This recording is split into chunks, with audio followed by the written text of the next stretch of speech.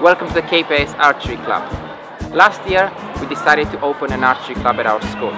We partnered up with Expert Archery Training Center and we've offered the students the first ever basic archery course. We've had very good response from the parents and we opened the first class with almost 10 students. At the beginning of this year, we have registered our club with the Thai National Archery Association, which is a very proud moment for us because now it means that we can officially train our students to become better archers. And actually, our vision is to send one of our students, one of our archers, to the Olympics. It's a very long road to the Olympics, but if the students start young, they can make it to the uh, archery national team and maybe they can qualify for the Olympics.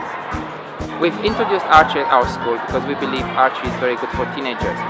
It helps them with concentration, it gives them self-esteem, it helps them with uh, their upper body strength and their general health and it also gives them self-confidence. At our school we use recurve bows.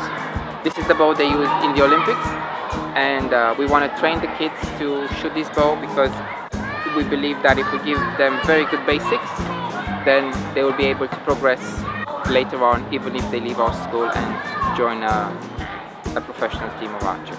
The bow is made up of a few basic parts plus several accessories which are not needed for beginners.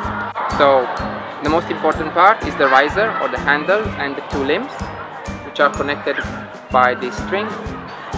Of course they need to use arrows. Once they uh, advance to the intermediate course the students get a sight and stabilizer to improve the accuracy. So let's start the training session. Let's see the kids in action.